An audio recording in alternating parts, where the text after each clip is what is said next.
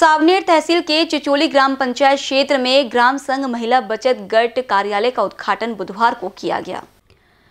ग्राम पंचायत चिचोली पंचायत समिति और जिला ग्रामीण विकास यंत्रणा जिला परिषद नागपुर इनकी संयुक्त विद्वान से यह कार्यक्रम लिया गया। उमेद महाराष्ट्र राज्य ग्रामीण जीवन ज्योति अभियान मार्फत सावित्रीबाई फूले इनकी जयंती के उपलक्ष्य में महिला बचत गट को मार्गदर्शन एवं गृह उद्योग से महिलाओं का सशक्तिकरण और विकास होना चाहिए। इस उद्देश्य से ग्राम संघ कार्यालय का उद्घाटन कार्यक्रम के अध्यक्ष पुरुषोत्तम चांदेकर, सरपंच चिचोली ग्राम पंचायत इनके हस्ते जिला परिषद शाला चिचोली वार्ड नंबर एक यहाँ बुधवार को किया गया।